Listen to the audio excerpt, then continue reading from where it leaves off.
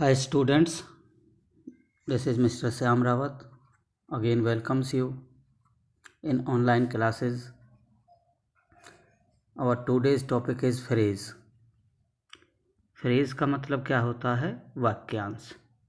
वाक्यांश जिसको अगर हम तोड़ के देखें तो वाक्य का अंश सेंटेंस पार्ट सेंटेंस पार्ट कह सकते हैं। वाक्य का अंश, वाक्य का भाग। तो फ्रेज क्या होता है? जैसे सेंटेंस होता है अ ग्रुप ऑफ़ वर्ड्स ऐसे ही फ्रेज भी ग्रुप ऑफ़ वर्ड्स ही होता है। बट डिफरेंस सेंटेंस और फ्रेज में ये है कि सेंटेंस ग्रुप ऑफ़ वर्ड्स और कंप्लीट मीनिंग कंप्लीट सेंस वाला होता है। ये a phrase is the group of words which gives same meaning but doesn't contain a complete meaning मतलब शब्दों के उस समूह को फ्रेज कहते हैं, वाक्यांश कहते हैं जिसका पूरा मतलब नहीं निकलता, कुछ मतलब निकलता है, पूरा मतलब नहीं निकलता। A phrase is the group of words शब्दों के उस समूह को फ्रेज कहते हैं या वाक्यांश कहते हैं विच गिव सम मीनिंग जिसका कुछ मतलब निकलता है but doesn't contain a complete meaning पूरा अर्थ नहीं निकलता। फॉर एग्ज़ाम्पल जैसे कि I will meet you in the morning in the morning phrase है सुबह तो सुबह क्या? कंप्लीट मीनिंग नहीं है। The child is standing on the roof the child यहाँ पर फ्रेज है, सड़क सॉरी छत पर बच्चा खड़ा है। The man has been waiting for an hour आदमी एक घंटे से इंतज़ार कर रहा है। Has been waiting is also phrase here in the above sentences in the morning is prepositional phrase in the morning prepositional phrase है। The child is noun phrase, the child noun phrase है क्योंकि child क्या है? Person का नाम है। And has been waiting is verb phrase. और has been waiting क्या है? वर फ्रेज है क्योंकि has been waiting perfect continuous tense है। But we also call the verb phrase as an idiom. हम वर फ्रेज को आइडम भी कहते हैं। Hence a group of words headed by a noun is noun noun phrase. अब हम phrases की definition है। जैसे a group of words headed by a noun is a noun phrase headed by a noun is noun phrase होता है। Headed by verb is verb phrase headed by adverb adverb phrase headed by preposition prepositional phrase होता है। तो किस प्रकार से हमारे जो फ्रेजेस हैं, वो फोर हैं नाउन फ्रेज कह सकते हैं वर्ब फ्रेज एडवर्ब फ्रेज और prepositional phrase here we are discussing about verb phrase जिसमें वर्ब आती है और वर्ब के साथ कोई प्रेपोजिशन आता है तो उसका जो मीनिंग होता है, वो डिफरेंट निकलता है।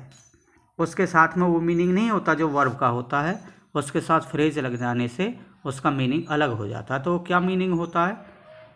I will tell you sentence wise bear with first है बियर विद बियर विद का मतलब होता है टॉलरेट बर्दाश्त करना, सहन करना।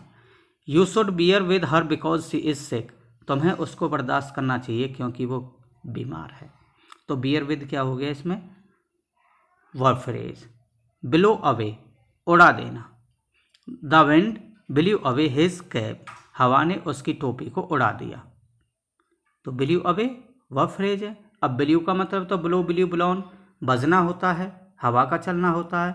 लेकिन यहाँ पर क्या है? बिल्यू अवे बिल्यू के साथ अवे लगा हुआ है तो डिफरेंट मीन्स है, उड़ा देना। ब्रिंग अप, पालन पोषण करना। I was brought up by my step mother. मुझे मेरी सौतेली माँ के द्वारा पाला गया था, या मेरा पालन पोषण मेरी सौतेली माँ ने किया था। Call in. कॉल इन का मतलब होता है बुलाना। Send four. सेंड फोर भी कहते हैं इसको। Call in the doctor at once. Doctor को अभी बुलाओ। तो कॉल वर्ब है। Cut down. कट डाउन का मतलब होता है घटा देना डिक्रीज कर देना। कट डाउन योर एक्सपेंसेस अपने खर्चे घटाओ। या अपने खर्चे कम करो। डील विद डील विद का मतलब होता है बिहेव बर्ताव करना, व्यवहार करना। Don't deal with bad boys बुरे बच्चों के साथ बर्ताव मत करो, या बुरे बच्चों के साथ मत खुलो मिलो। फॉल टू टूट पड़ना। एज वी वर हंग्री जैसे कि हम, क्योंकि हम भूखे थे वी फेल टू ईटिंग हम खाने पर टूट पड़े। गिव अप वैसे गिव का मतलब क्या होता है? देना। लेकिन गिव के साथ अप लग जाने से क्या हो गया? वर फ्रेज तो गिव अप का मतलब हो गया त्यागना। अबेंडन अबेंडन कहते हैं जिसको?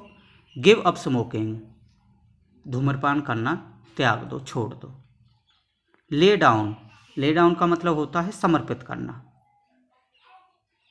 Lay down your life for your country अपने जीवन को देश के प्रति समर्पित कर दो। पास अवे पास अवे का मतलब होता मरना।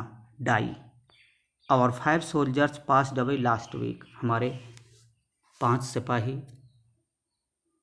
देश के वीर सपूत लास्ट वीक मर गए, गुजर गए pass away put on put on का मतलब होता है वियर पहनना।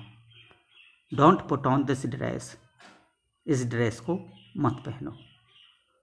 वैसे पुट का मतलब रखना होता है बट ऑन लगने से पहनना। रन आउट समाप्त हो जाना। The oil in the lamp has run out दीपक में जो तेल है, वो समाप्त हो गया है। सेट अप सेटअप का मतलब होता है स्थापित करना। एस्टेब्लिश कहते हैं, उसको फाउंड भी कहते हैं। He has set up a shop उसने एक दुकान स्थापित की है, उसने एक दुकान खोली है। टेक ऑफ़ टेक ऑफ़ का मतलब क्या होता है? उतारना। टेक ऑफ़ योर कोट अपना कोट उतारो। ठीक है? तो these are the sentences of verb phrase as the verb with phrase has different meaning so we have to learn it by heart हमें इसको कंठस्थ याद करना है so that there should be no problem in translating the sentences as phrases ताकि हमें कोई sentence में दिक्कत ना आए फ्रेजेस के रूप में सीखने की। So there may be so many sentences as phrases verb phrases ऐसे वर्ब फ्रेज के बहुत सारे सेंटेंस हो सकते हैं। मैंने केवल फिफ्टीन लिए हैं यहाँ पर। हम, हमारे ए टू लेकर के जेड तक। ए टू जेड तक बहुत सारे फ्रेज बनेंगे तो उनका डिफरेंट मीनिंग बनेगा। अगर एक वर्ब आती है तो उसका मतलब अलग निकलता है, लेकिन फ्रेज के साथ में या प्रपोजिशन के साथ में उसका मतलब अलग निकलता है। तो इसलिए हमें इसको सीखने की लर्न करने की बहुत नेसेसिटी है। Okay thanks a lot for watching me have a nice day